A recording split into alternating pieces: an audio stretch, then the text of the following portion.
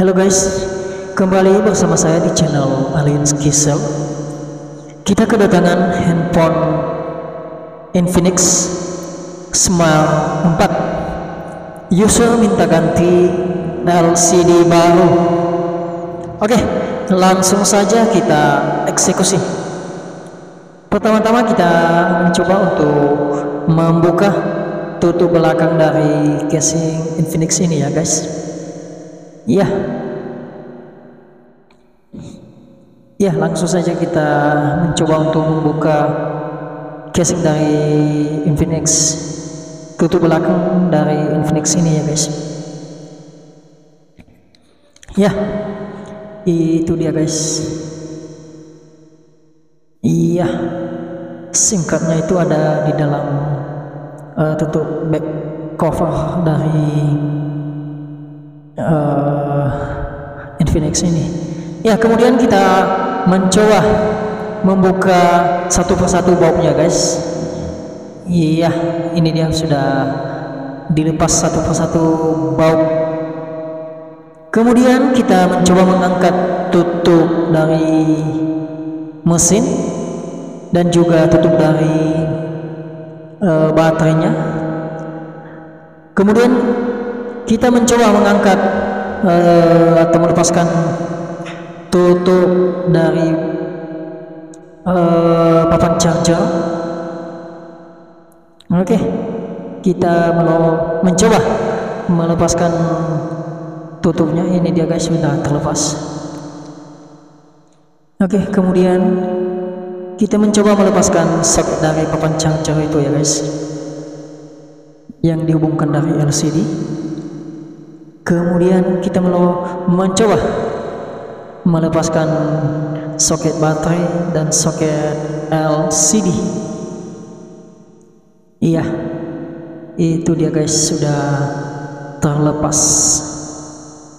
Ya kemudian kita mencoba mengangkat uh, baterainya guys dengan cara dicongkel di sini saya menggunakan congkelan LCD ya guys. Ya udah terlepas guys. Itu dia guys sudah terlepas baterainya. Oke. Kemudian uh, kita mencoba melepaskan soket LCD yang masih merekat atau me uh, merapat di frame-nya ya itu dia udah dilepaskan guys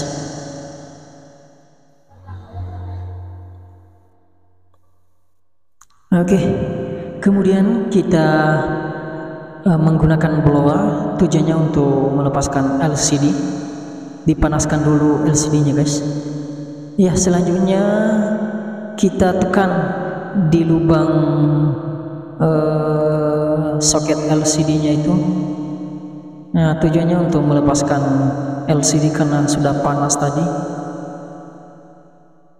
Ya, secara hati-hati guys. Ya, itu dia. Sudah terlepas guys. Ya. Itu dia sudah dilepaskan dari batang atau frame-nya LCD-nya. Kemudian kita mencoba membersihkan sisa-sisa lem yang masih melekat di uh, frame-nya dengan cara dilepaskan menggunakan obeng. Ya di sini saya menggunakan obeng. Obeng biasa ya guys. Ya setelah dipastikan sisa-sisa lem yang masih melekat sudah terlepas sudah uh, bagus dan saya menggunakan uh, sikat gigi bersama dengan uh, semprot debu. Tujuannya tujuannya untuk melepaskan debu-debu yang masih leket di mesin handphone dan juga di frame nya oke langsung saja kita memasang uh, saringan dari speaker atas ya guys. Iya. Selanjutnya kita mencoba memasang lem LCD. Ya ini dia guys. dipasang lem LCD ya guys ya dan jangan lupa juga untuk memberikan lem sedikit saja di tengah-tengah LCD nya di tengah uh, frame-nya maksudnya tujuannya untuk merapatkan LCD yang ditempelkan nanti. Ya kemudian kita mencoba mengambil LCD baru guys. Ya ini dia LCD baru. Masih ada di dalam kotak. Nah ini dia dengan merek OG Super. Ya jangan lupa guys untuk mencopot atau melepaskan uh, stiker yang masih lengket di LCD baru ya guys. Dan juga harus dilepaskan uh, kertas yang masih lengket di belakang LCD nya itu guys. Kalau tidak dilepaskan itu nanti agak ketebalan tidak presisi dengan uh, di frame di frame nya oke langsung saja kita memasang LCD baru guys. Ya di situ ada dua soket. Ada soket LCD dan soket untuk uh, papan charger.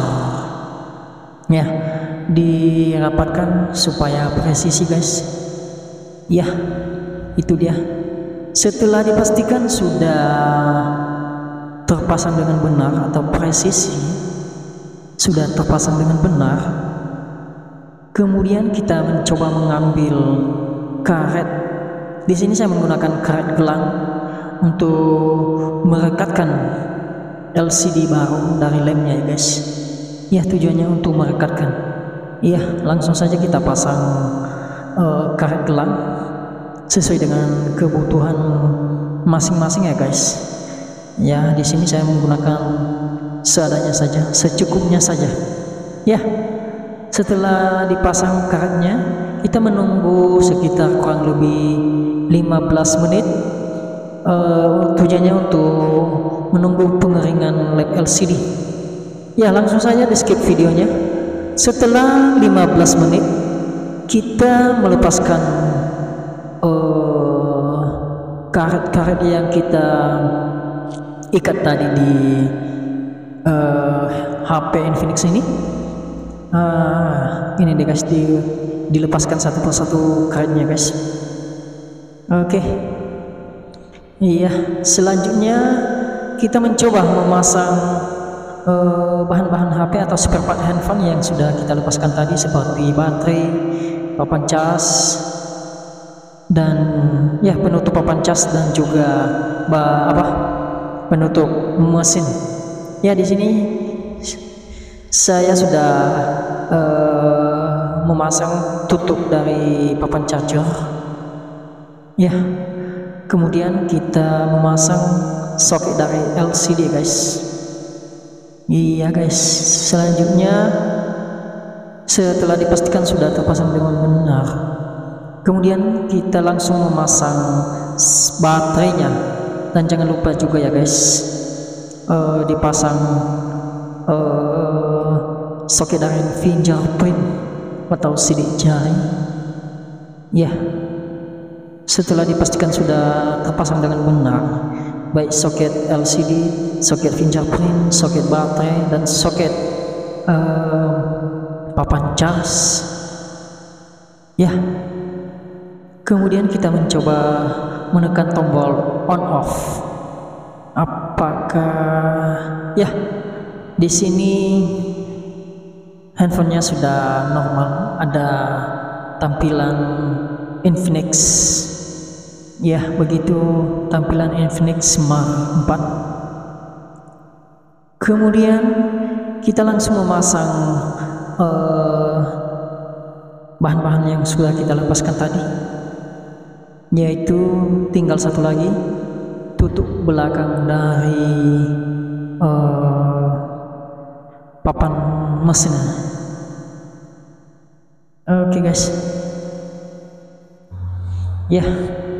Setelah dipastikan sudah terpasang dengan benar dan kita mencoba memasang tutup belakang dari baterainya. Iya, ini dia guys sudah selesai semua, tinggal pemasangan baut satu per satu. Itu dia guys. Oke langsung saja kita memasang bautnya satu per satu guys. Oke kita langsung saja memasang bautnya satu per satu iya ini dia guys. Dipasang satu per satu bautnya ya. Iya. Ya kemudian setelah dipasang bautnya satu per satu uh, kita mencoba menekan tombol on off lagi ya di sini udah bisa normal handphonenya ya guys. Di sini juga handphonenya sudah di password atau dikunci pola oke langsung saja uh, kita mencoba uh, memasang tutup belakang dari casing Infinix Smart 4 ini iya. Di sini saya memasang dulu ya terlebih dahulu saya memasang tombol on off dan tombol volume karena saya sering copot.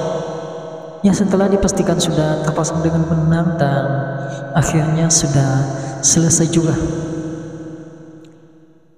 Uh, sudah normal kembali tinggal uh, menunggu customer untuk mengambil handphone Infinix Smart 4 oke okay. demikian uh, tutorial cara mengganti LCD Smart Infinix Smart 4 salam teknisi. Salam teknisi Nias. Iya aho